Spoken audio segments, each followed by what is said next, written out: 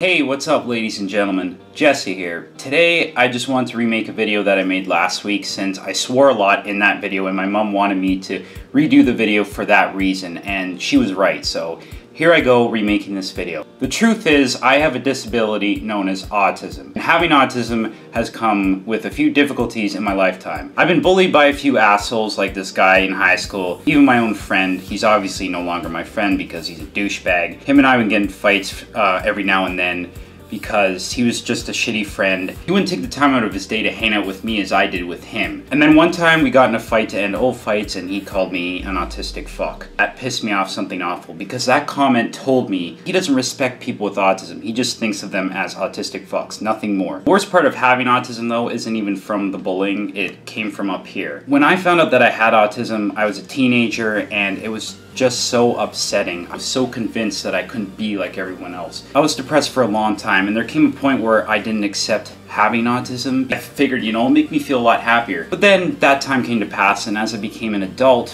I uh, learned to accept what I have because I realized that autism doesn't define who I am. It's just something I have to live with. And that goes for anyone else who has autism. It's just a disability. It's nothing bad. It's not gonna strangle your life or anything like that. You're just like anyone else, and if somebody says otherwise, they're a bunch of nobodies. They don't know what the hell they're talking about. Their opinions mean absolute trash, so ignore them and walk the other way. But you're somebody, and you're gonna do great things with your life, I promise you. I really hate though how there are people out there that write books about people with autism, and they say that people who have autism can't live their lives, which is complete bullshit. I can live my life normally. I have a family that loves me. I have friends. And in the future, guess what? I'm gonna find myself a girl, marry her, have kids with her like anyone else. That you think just because I have autism that I'm not allowed to live a normal life like everyone else? Screw you. Those people who write books about that crap, you don't know what it's like because you yourself don't have autism or you don't have someone who's close to you who has autism, so you can't speak from personal experience. Shut the hell up. Lastly, I just want to say that autism is not a disease as